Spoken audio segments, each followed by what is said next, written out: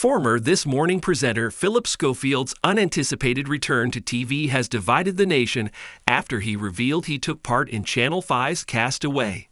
This week, the star, who last year quit his role at ITV after admitting to an unwise but not illegal affair with a much younger colleague, revealed he starred in Channel 5 series Cast Away, bringing an end to his quiet 16 month absence from TV and awards shows. The three episode series follows the former Dancing on Ice co host as he's stranded on a desert island off the coast of Madagascar for 10 days. They will be left alone to document their own experience using a variety of cameras. The synopsis for the show read The famous face has to confront the challenges of total isolation, the forces of nature, and the battle within their own mind.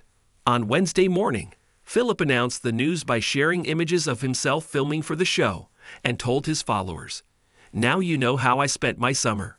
Alone for 10 days, no food, no water, no crew. My story of survival, both on a desert island and off it, before announcing the release date. While his followers may have loved the news, many of his former ITV colleagues weren't so sure of his return. After the news came out, Eamonn Holmes, who hasn't been shy about his dislike for the presenter, had a very telling reaction. When his affair was exposed, Eamonn was quick to take to social media and fume. Schofield has finally been caught out and branded ITV the Ministry of Lies. He also said that he and his former wife Ruth Langsford had been taken for fools by Schofield after comforting him life on TV when he came out as gay. Eamonn said he had felt used and ashamed after his ITV colleagues had lied to him as he hid out at them on social media. On his GB News breakfast show with Isabel Webster, the stars looked less than impressed with Phillip's return to TV. Is this not just the chance for a narcissist to have more me time on screen? Fumed GP dear Renee Hoenderkamp. She added, I don't want to know his story. I'm not interested in it. I know that he's a celeb and people do seem to lap up any news, whether it's good or bad, but I think it's time maybe he stayed on the island. Meanwhile, former Home Office Minister Norman Baker fumed. So what? I don't want to know about it. I'm not interested in it. Why is the Sun giving two pages to it? I suppose it sells papers, but really, is that the most important thing in the papers? Isabel interrupted, adding, Well, he was one of our most high profile presenters in the country. He was married, and he had two children when the scandal emerged. He lost all of his TV work, including Dancing on Ice. He fell out with his one time best friend and co host Holly Willoughby, who also, quite frankly, didn't she lose her job off the back of it all? Isabel added that Schofield had to leave social media in the wake of his scandal. My heart bleeds, fumed Baker, while Eamonn let out a little chuckle. The broadcaster was heard adding, Very good.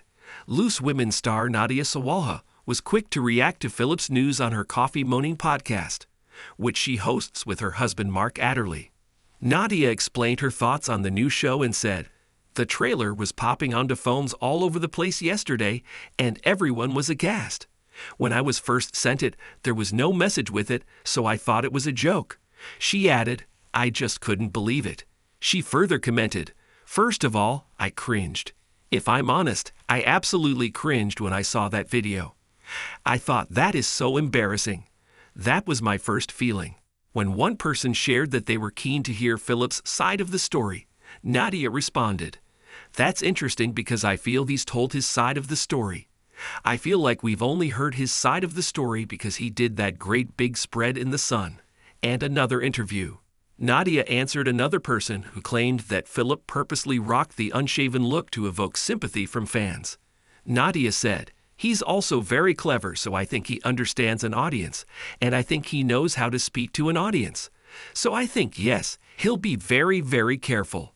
Later on in the podcast, she shared, he lied to everybody at work. He left people to deal with his as asterisk asterisked. I feel, in my opinion,